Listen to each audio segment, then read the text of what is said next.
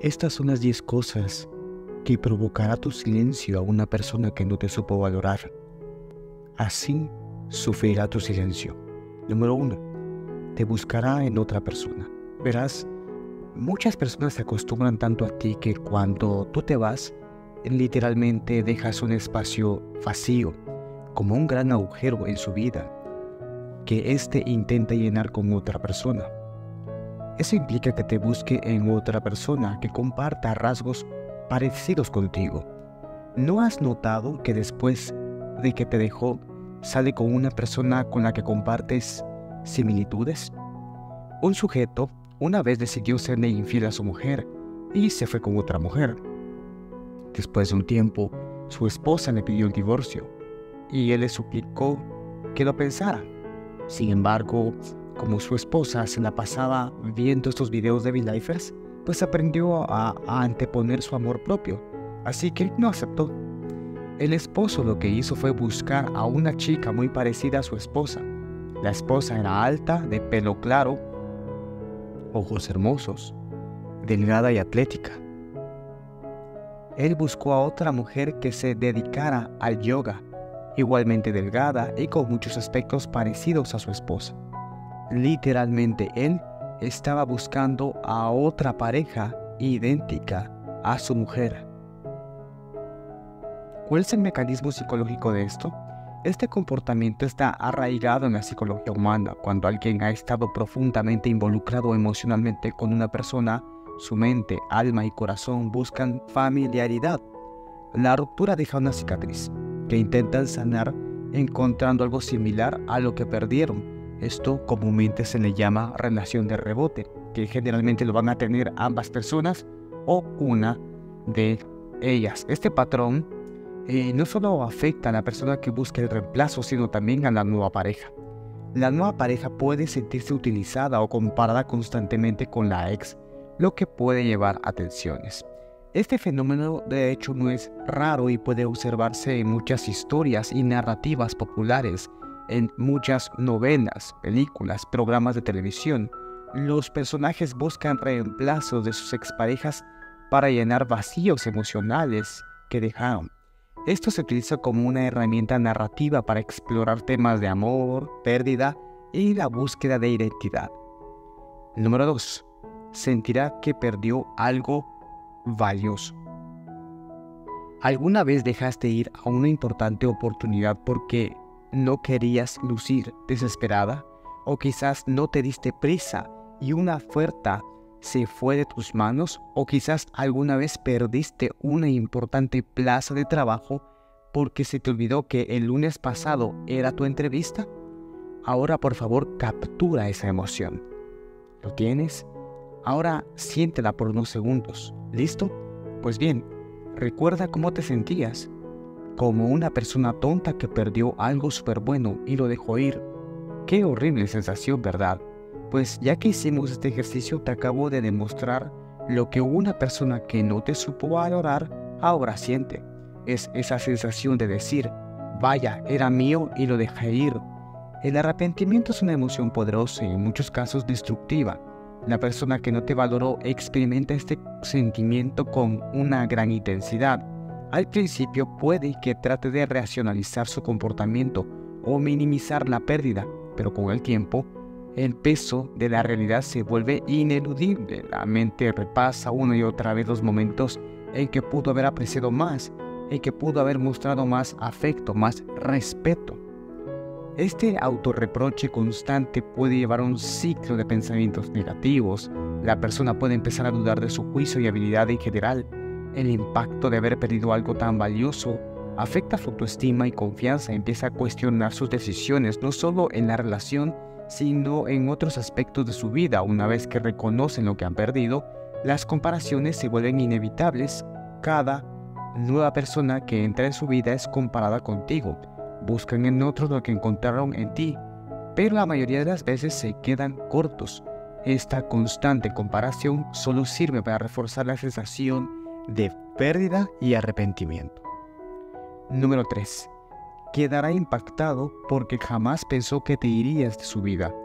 Hay un dicho que antes rezaba lo siguiente, Nadie sabe lo que tiene hasta que lo pierde, pero este dicho se ha ido desarrollando con el paso de los años y ahora dice más o menos, todo el mundo sabe lo que tiene, solo que jamás cree que puede perderlo. Es decir, damos tan por seguro las cosas que sencillamente jamás pensamos que podemos perderlo. Hagamos otro ejercicio ahora mismo para que este video sea interactivo. Si estás oyendo en el carro o haciendo alguna actividad importante, no hagas este ejercicio. Pero si estás sentada en el sofá de tu casa o en tu terraza, por favor, mira hacia arriba y mira las nubes. ¿Las ves? Siempre has dado por sentado que estarán ahí, con esos hermosos colores blanco y ese cielo azul. ¿Qué pasaría si hoy, en este instante, perdieras la vista? Y si te dijera que jamás volverías a ver ese hermoso cielo azul. Seguro que si te lo pensaras mucho, porque te darías cuenta que vas a perder algo que siempre ha estado ahí. Y si a eso te dijera que vas a perder la vista en los próximos seis meses, ¿qué harías? Seguramente apreciar los atardeceres y ver más seguido al cielo. Yo personalmente hago lo mismo. Las fotos que te muestro a modo de bucle en este video son fotos que suelo tomarle al cielo, y es que a veces doy por sentado que ahí está, que se me olvida que algún día no volveré a ver ese cielo hermoso. Pasar mucho tiempo trabajando frente a la computadora ha hecho que uno de mis ojos me duela mucho leer, y casi no uso tanto el teléfono como antes, por ese dolor de ojo. ¿Y sabes qué? He pensado mucho en que damos por sentado que el cielo estará ahí siempre que se nos olvida apreciarlo. Ahora lo aprecio mucho más. La persona que no te valoró es como esa persona que inconscientemente o que es inconsciente de que algún día dejará de ver tu bella sonrisa. Asumió que tu sonrisa sería permanente como ese cielo azul, que cuando te fuiste, su mundo colapsó y pensó, no puede ser, ¿cómo es posible que ella ya no esté aquí? ¿Cuál sería tu reacción si hoy no pudieras ver el cielo? Exacto. Es la misma sensación que experimenta la persona que no te supo valorar. Número 4. Se sentirá inseguro o insegura de sus capacidades de amar y ser amado. El cuestionarse sus capacidades es algo común, pues empezará a dudar de si puede establecer una relación sana. Con esa sensación de desespero terminará por ceder ante una interrogante superior. ¿Podrá encontrar a alguien que lo sepa amar como tú lo amaste? Para su mala suerte, esta pregunta no parecerá tener respuesta y el conflicto será patente. Este conflicto interno se manifiesta de varias maneras. Primero, la persona puede volverse extremadamente crítica de sí misma, buscando defectos en su comportamiento pasado que podía haber contribuido a la ruptura. Esta autocrítica puede llevar a una disminución significativa de la autoestima y la confianza en sus habilidades relacionales la inseguridad también afecta la capacidad de la persona para confiar en nuevas parejas. El miedo a repetir los mismos errores y la posibilidad de sufrir una nueva pérdida puede hacer que se retraiga emocionalmente. Esta desconfianza puede sabotear nuevas relaciones antes de que tengan la oportunidad de desarrollarse plenamente, en un intento por recuperar su autoestima. La persona que no te valoró puede buscar constantemente validación externa. Este comportamiento puede llevar a relaciones superficiales en las que se busca aprobación más que una conexión genuina. La falta de profundidad emocional en estas relaciones puede reforzar aún más la sensación de incapacidad para amar y ser amado.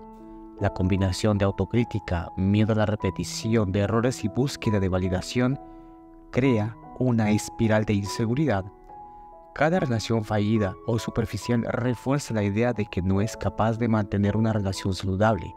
Esta espiral puede llevar a un aislamiento emocional y a una evitación de futuras relaciones. Número 5. Despertará antiguos traumas escondidos. Después de no valorarte, empezará a exacerbar entre sus traumas más infantiles tratando de entender que falló. Quizás te culpe a ti, quizás pienses que tú fuiste quien arruinó todo pero finalmente cederá ante la presión de darse cuenta de que era él, en definitiva, quien quizás con sus actos los que provocaron que te fueras. Eso hará que se replantee su incapacidad de forjar relaciones sanas. Los traumas infantiles a menudo permanecen latentes, emergiendo en momentos de estrés emocional o cuando enfrentamos la pérdida. La situación puede desencadenar recuerdos y sentimientos de abandono, rechazo y falta de autoestima que se originaron en su infancia. Al enfrentarse a estos sentimientos, probablemente intentará encontrar una explicación que le permita evadir la culpa. Quizás te culpa a ti pensando que fuiste quien arruinó todo, proyectando en ti sus propios fracasos y carencias. Es una reacción defensiva común proyectar nuestras propias inseguridades y errores en otros para proteger nuestra autoimagen. Con el tiempo, sin embargo, la presión de la realidad se volverá ineludible y finalmente cederá ante la presión de darse cuenta que fue por él que todo esto ha fallado. La introspección forzada puede llevar a una crisis emocional en la que se cuestiona no solo sus acciones pasadas, sino también su valor como persona y su capacidad para querer. Esta realización puede hacer que se replantee toda su vida, incluso intente explicar por qué otras relaciones no funcionaron ni fructificaron. Al enfrentarse a sus fallos, se verá obligado a reconocer los patrones destructivos de comportamiento que ha repetido a lo largo de los años. Estos patrones pueden incluir comportamientos de autosabotaje, dependencia emocional y desde luego miedo al compromiso. Identificar estos patrones es el primer paso crucial para que los pueda cambiar. La autoevaluación y la confrontación de sus traumas no le van a ser fácil. Puede que experimente una gama de emociones intensas. Puede ser tristeza, arrepentimiento, ira y desesperación. Número 6. Se dará cuenta que tenía algo muy real y lo dejó ir. Verás, las relaciones que regularmente tiene una persona que no te sabe valorar son banales, poco productivas, no germinan en nada concreto y muchas veces se mueren a los pocos meses de empezar.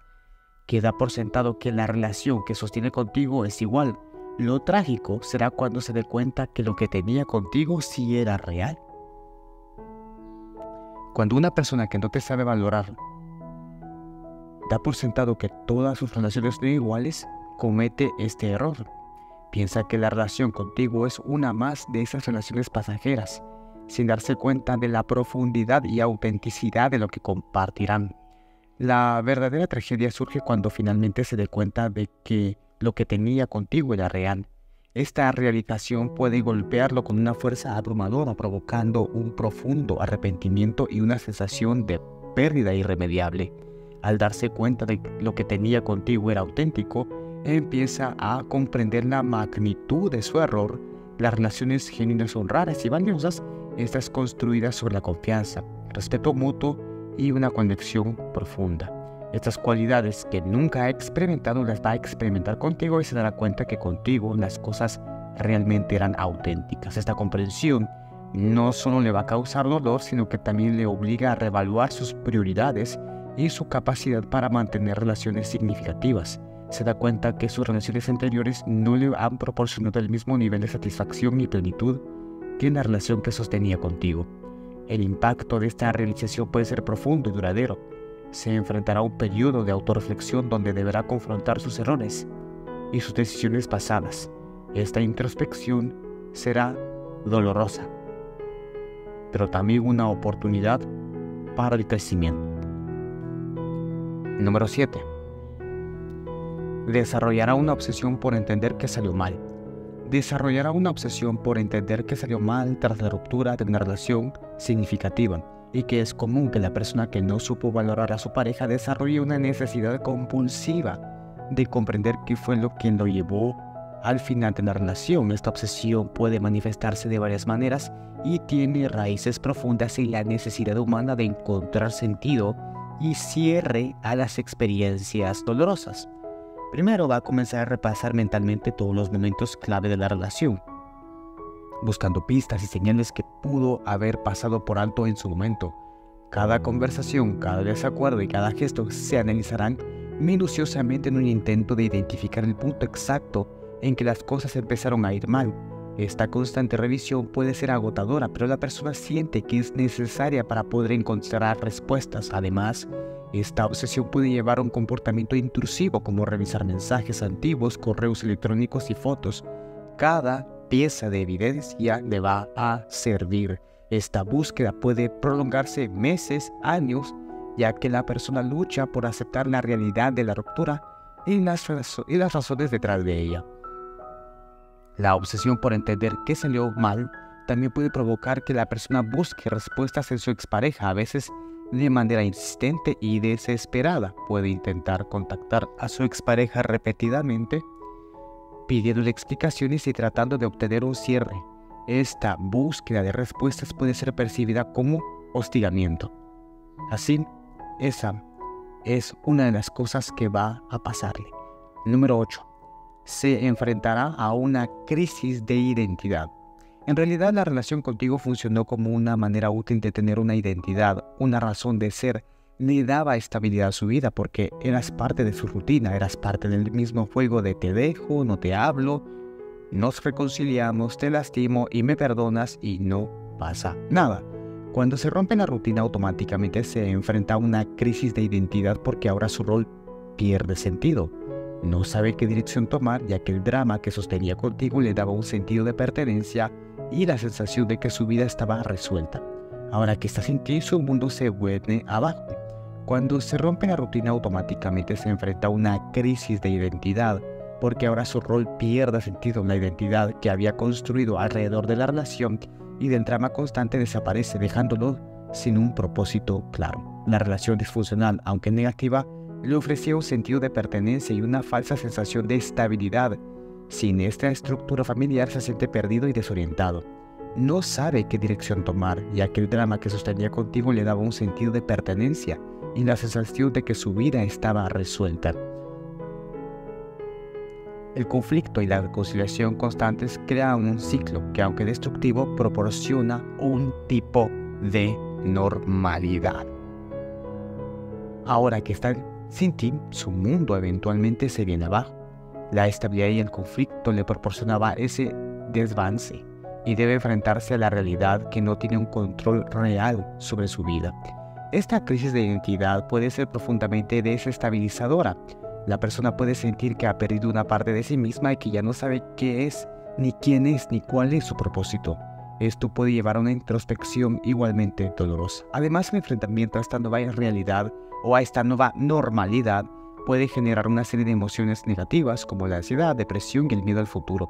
La falta de dirección de un propósito claro puede hacer que se sienta abrumado y sin esperanza. Este periodo de ajuste es crucial para su crecimiento personal, ya que debe aprender a encontrar estabilidad y sentido de pertenencia a sí mismo, en lugar de una relación disfuncional. Número 9. Llenar el vacío que dejaste con nuevas aficiones. Esto es muy parecido a lo que discutimos en el punto 1 y si no lo recuerdas pues te recomiendo que regreses el video y lo vuelvas a escuchar.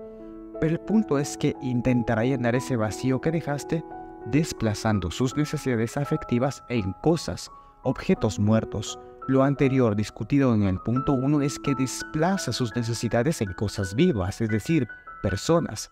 Aquí eh, pasa algo relativamente contrario. Aquí se desplaza su necesidad en cosas inertes, aficiones como el fútbol, el alcohol, los videojuegos o el trabajo. Desplazar y llenar vacíos con cosas es un cambio común de una persona que no te supo valorar. ¿Notaste algo como esto en tus exparejas? Desplazar y llenar vacíos con cosas es un cambio común de una persona que no te supo valorar.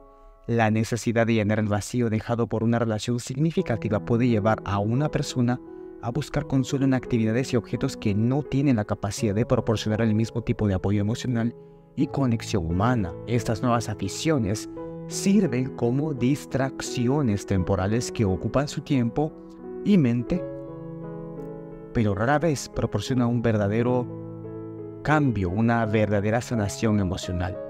El fútbol, por ejemplo, puede convertirse en una obsesión que le permita escapar de sus pensamientos y sentimientos.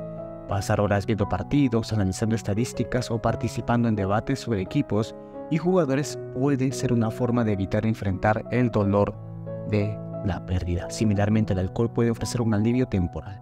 Los videojuegos son otra forma común de desplazamiento al sumergirse en, en mundos virtuales puede literalmente disociar la realidad puede evitar incluso enfrentar la realidad misma y proyectarla en una realidad alterna.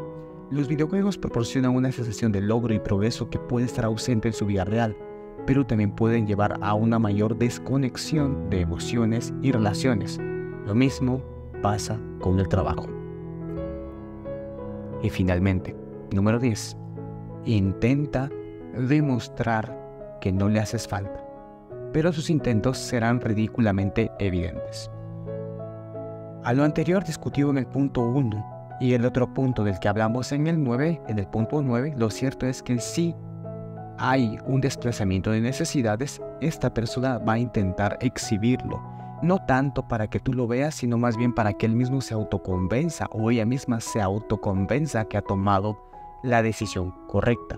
Lo verás entonces exhibir desesperadamente su relación con las redes sociales y vas a ver su nueva relación en Facebook, en Instagram o sus nuevas aficiones. Y si es con cosas inertes o muertas, será exhibir sus nuevas aficiones en... Después de perderte, una persona que no supo valorarte intenta convencerse a sí mismo y a los demás de que tu ausencia no le afecta. Para ello puede recurrir a exhibir su vida, su nueva vida maravillosa a través de los medios sociales o cualquier otro medio, buscando simplemente propia autovalidación. Este comportamiento es una forma de autoafirmación y una defensa contra el dolor de la pérdida, al intentar demostrarte que no le haces falta. Está realmente luchando contra sus propios sentimientos de arrepentimiento y soledad. Esta necesidad de exhibición constante puede volverse agotadora y poco auténtica ya que se basa en la negación de sus verdaderos sentimientos. Así, espero que te haya gustado este video introspectivo y si llegaste hasta este punto, por favor deja en los comentarios. Aprendí a regalar mi silencio a quien no me valora.